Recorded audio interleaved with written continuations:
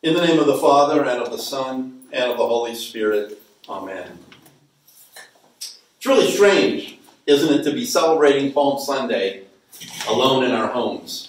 Uh, some of us with just a few people, some with nobody, uh, doing this alone. That's not usually the way Palm Sunday's done. We usually do it with a, a parade and a procession and lots of people marching through the church, right? Not this year. But I'm somebody that actually likes crowds, and so I really miss the great procession of Palm Sunday. I like outdoor concerts. Um, I really enjoy fairs and parades. I like churches when it's packed elbow to elbow uh, on a Sunday morning. Now, my wife Sue, not so much. In 1986, I thought one of the best things we could possibly do would be to go to Washington, D.C. on the 4th of July and see the Beach Boys play a concert outdoors at the Lincoln Memorial. Sue wasn't sure. She said, it's going to be crazy there. It's going to be a madhouse. I said, oh, we're going to have a ball. We had two little kids at the time, right? They were, what, let's see, four and seven. We'll just take them there and we're just going to have a great time. So we go down. And I didn't realize that even parking was going to be miles away and that when we got there, I mean, I've been in crowds, but there were over 500,000 people there for that concert. Fortunately, they simulcast the whole thing on the radio, and so I've got a little radio in my hand and I could hear the music because I couldn't hear the live music. We were way too far away. We couldn't see anybody. It was really disappointing. But I would have really loved that parade on Palm Sunday. That great procession into Jerusalem. I would have loved that day. Everybody gathered. They were coming in for Passover from all over the Near East and the Middle East. A great parade. I mean, you can just feel the press of the people as they're gathering on the road from Bethany into Jerusalem. You can smell the dust kicked up by everybody's feet, the donkeys. You can probably pick up the smell of maybe unmistakable odor of people not uh, haven't washed in a while as well, and in too close a space. But you can sense the excitement in the air that day. And you might even climb a tree so you can get a better look. You tear off a palm branch and you jump down, and everybody's singing, and you start waving the palm branch too. Hosanna to the Son of David. Blessed is he who comes in the name of the Lord. Hosanna. It's a great time. Had to be. But I want you to imagine, too, what the disciples were thinking now. How excited they were. And the hope that they had. Because this wasn't just a normal parade.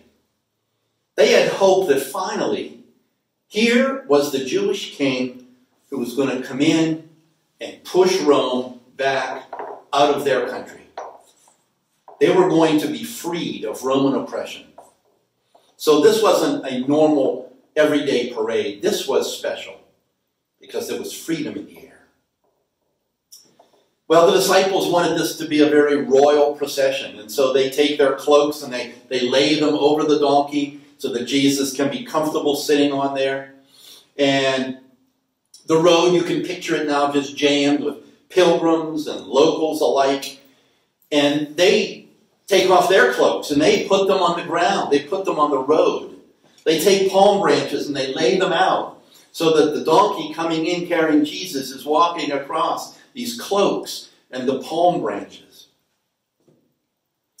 See, they were thinking about something that had happened just a hundred years before that. That's the last time they were out from under Roman rule. Another leader in those days had come forward. His name was Judas Maccabeus. And he led them to victory over the Roman armies that were there, and he became their king. And they had freedom.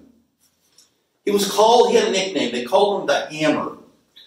And the palm branch was his symbol. And so when he had coins made, it had a picture uh, impressed of a palm branch on his coins. And they used them at temple feasts. Anytime they celebrated his victory, it was always with palm branches being waved. Well, this time the crowd rushed to grab palm branches again because they thought it was the same thing. Here's the next king that's going to free us from Rome. And so they were expecting that same kind of military victory. You can hear their cheers, Hosanna! Hosanna is a, is a Latinized word, but the original Hebrew would be translated save me, save us, help us. That's what it means. Help us, son of David. So as you picture this scene, remember, it doesn't end with the parade that day. As Jesus finally gets to the city, he gets to Jerusalem, all the people are taking notice. Matthew said the whole city is stirred up. And they're asking. You can just picture it in the crowds. Who is this? Who is this? It's Jesus. It's Jesus. Oh, it's the one from Nazareth. He's here. Jesus. It's him. So everybody's asking. Who is this coming in that's getting all this attention? And that's the question for us today. Same question. who is this? Who is Jesus and who is he to you? Who is he to me? See, the problem with those palm branches is that once, once you cut those branches, once this branch is cut, it immediately begins to die. And they don't live very long at all. Just to keep these here in the church, we've had to keep them refrigerated and moist because they will quickly dry out and they will die. And that's the problem with palm branches. And you see, the problem with Palm Sunday is that the excitement of that crowd soon faded. And it died out. And by Friday, the same voices that were saying, Hosanna, save us, were saying, crucify him. He's not going to do what we thought. He's not going to have a military victory. Crucify him. See, their love for the Lord was so shallow, wasn't it? It was so shallow and based entirely on the hope of what he would do for them. They were going to be freed. There were not going to be Roman soldiers on every street corner anymore. They would not have to pay the burdensome Roman taxes anymore. Let Jewish law govern us, not the laws of Rome. And when it wasn't what was good for them and what they expected, well, then they were out of it. Crucify him. We're not so different sometimes, are we? We're quick to get behind Jesus when he's on the way to that throne. But we kind of fall by the wayside when we realize he made a turn and now it's headed toward the cross. We're slow to obey a suffering servant. We'd rather be following a powerful king. But let that not be us. Let that not be you and me.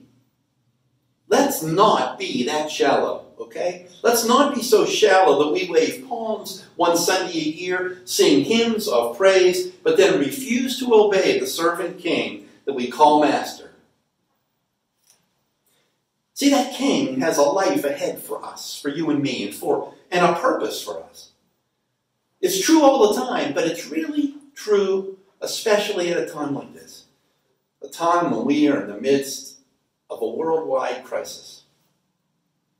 At a time like this, it becomes so vividly clear that none of us knows how long we're going to be here, do we? We don't know how much time we have. And it's not just because of the virus. But how about the young girl, 14 years old, Diana, over in West Deer last week, who burned up, burned to death in her home? A friend of Mary Garrison's. Her parents taught Financial Peace University in this church. How about the friend of Rebecca Roberts, 12 year old boy named Jake, who just died suddenly over in Mars last week, and we don't even know what killed him? None of us know what the future holds. But we do know that God has a purpose for us between now and then. He calls us to love Him and to love others with the kind of love that will make a difference in the world we live in. He calls us to speak truth. He calls us to reach out our hands, to hold out our hearts. Yes, even willing to touch the leper with love. And he calls us to do that now. See, when the world says, hide away just take care of yourself now. We as God's people are called to reach out, to extend love, support in whatever way we can do it, as safely as we can do it, but to do it. Every single one of us, with our own gifts and our own abilities to reach out to others in need. Every one of us. You know, sometimes we think, well, you know, someday I'm going to be a lot more obedient than I am nowadays to the Lord. One day I'm going to really show that I'm truly committed. Someday I'm going to really focus on serving Christ. But I'm so busy now. Someday I will. You know, after all this scary virus stuff is over, maybe then I can I can get back to trying to be a really committed Christian and follow Jesus. Brothers and sisters, the day is now. Right now. And it doesn't matter who we are or how we do it.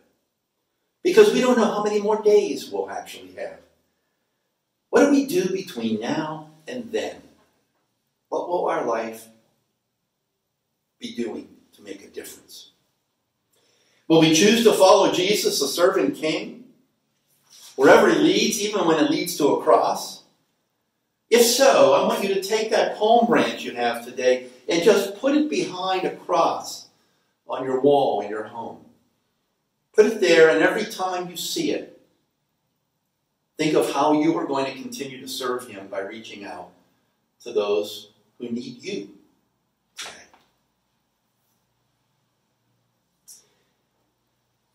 Every day, we ask the Lord, what is it that we can do? And as I was praying about this and just looking at uh, some of the great leaders of the church over the years and how they looked at this passage, at this, uh, at this idea, I found a passage from Martin Luther, a letter that he wrote. This was written during the bubonic plague in the early 1500s. It had it had come back and it had stirred up again in Germany. And this is what Luther wrote. He said, I shall ask God mercifully to protect us all. And then I will fumigate, purify the air in my home, administer medicine, and take medicine.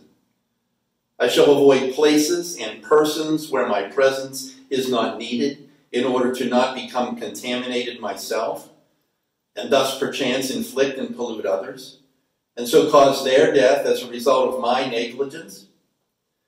If God should wish to take me, he will surely find me. But I have done what he has expected of me.